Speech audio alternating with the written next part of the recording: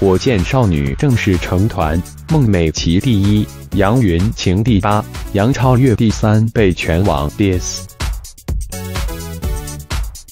今晚不少网友都在观看《创造一百零一》的直播，毕竟可是总决赛啊！这三个月来，女孩们都成长了很多，到底最终谁能出道，自然是备受期待啊！相信不少网友都刚刚熬夜看完了这档节目，节目组已经公布了最后出道的十一位女孩的名字。最终 C 位出道的女孩是孟美岐，唱跳能力俱佳的孟美岐取得第一名也是意料之中。第二名是吴宣仪，孟美岐和吴宣仪同公司、同组合，也是多年的好友，不得不说两人实力都很强。第三名杨超越就褒贬不一了。最后一场公演中，杨超越仍然是车祸现场，被网友调侃是在划水。但杨超越最终是凭借着强大的粉丝团取得了第三名，可见粉丝力量真的是强大啊！第四名是段奥娟，大娟自从参加节目以来，观众缘就很好。杨超越的唱功也是没得挑，所以段奥娟是要负责团队的主唱担当了吗？第五名是 Inarme，完全在意料之中。这几次点赞排名中，Inarme 都在前十一，所以出道是必然。你喜欢这样又酷又拽的小姐姐吗？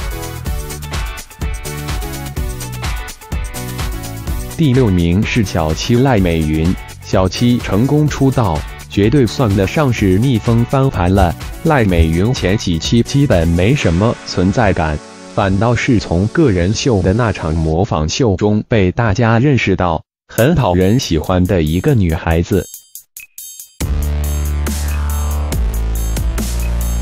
第七名是子宁，子宁前几期也是频繁被忽略。但后期子宁凭借自己的努力被大家认识到，子宁小姐姐的颜值也是没得挑，只是今晚的皮肤状态有点差哦。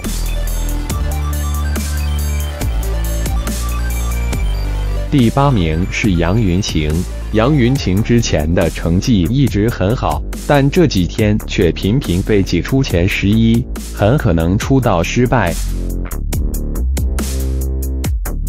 但粉丝们真的是不离不弃，坚持到最后一刻，最终成功出道。杨云晴小姐姐还是很有魅力的啊！第九名是李子婷小姐姐，李子婷自始至终一直都很安静，存在感很低，但唱功 OK 的。第十名是来自香蕉娱乐的普京。傅京这几次的成绩也很危险，一直都在十一名左右徘徊。这次以第十名的成绩出道，也算是如愿了。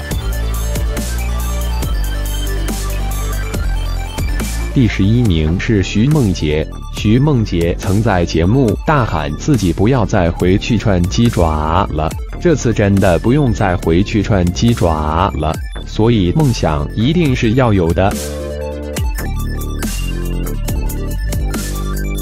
以上是一位小姐姐，你可还满意？有网友在为李子璇、刘仁宇可惜出道名单中备受争议的，无疑是杨超越了。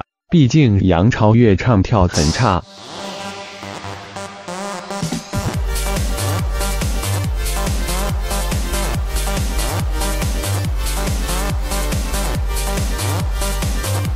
最终节目组公布了十一位女孩的团名。